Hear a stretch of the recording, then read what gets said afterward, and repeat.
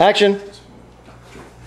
Hey, you, I know. neighbor, Oh, jeez. stop feeding my dog. Hello, Mrs. Habersham.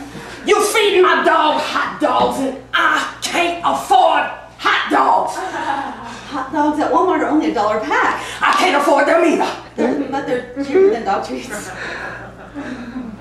Cheaper than dog treats. You feed my dogs hot dogs and they like you better. I've told you, Mrs. Habersham, um, I would not be feeding your dogs if they weren't over here all the time. And they wouldn't be over here all the time if you wasn't feeding. I feed all the dogs.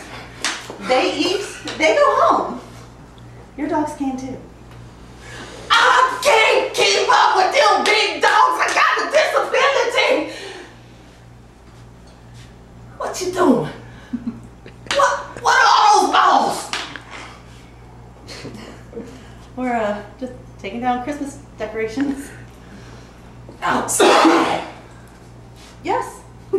We don't buy a Christmas tree. We just decorate the beautiful cedar. Are you freaking nuts?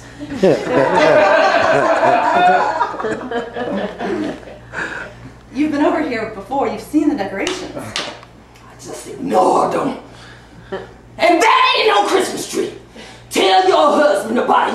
Buy you Christmas tree and stop being so cheap. He's not cheap. He buys hot dogs for a dollar. He's cheap. Listen, I love Bogey and Nemo, but you better be thankful that I don't hurt them or it's called a pound. Wouldn't.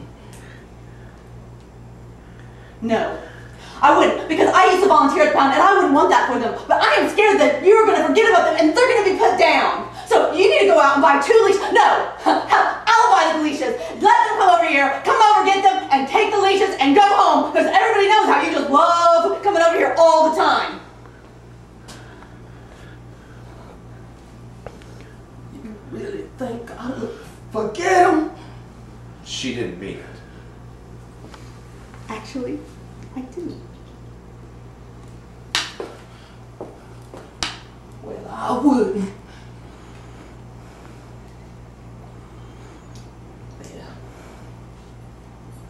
You missed one.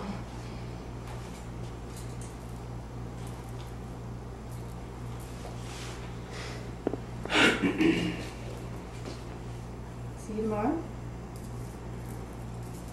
See you tomorrow. and stop feeding my damn dogs!